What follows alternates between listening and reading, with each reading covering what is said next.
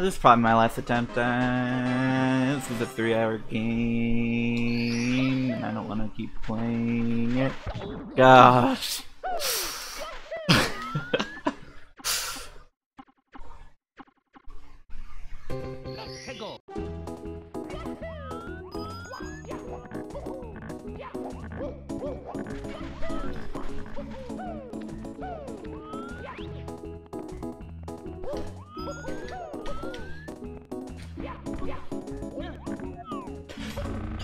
got fucking robbed and soft locked? No, just put out of bounds.